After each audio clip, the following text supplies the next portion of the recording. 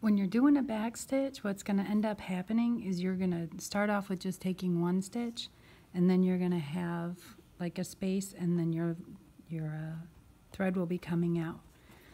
You can you can push it through and pull it all the way to the other side. Again, making sure that everything is nice and loose and just laying on top of there.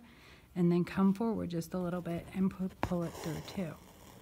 But the other way you can do this is if I come in here, right where my stitch was, if I go back, and then I just come a little bit forward, right there. See how there's that, the stitch is right there. I went in right there and I came out right there. And then I can just pull forward. And again, make this very, very, just laying down on top of the fabric and not pulling too tight. I can do all of that with the same, with just one stitch and never having to like poke through from the bottom side. You can do that whole stitch just right there. And then pull through.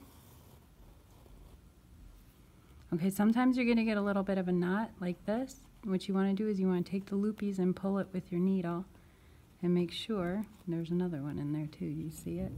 This one right here.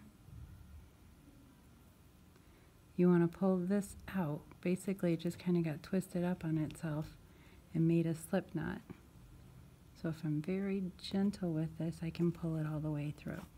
But if you pull on that loop first, it works out better.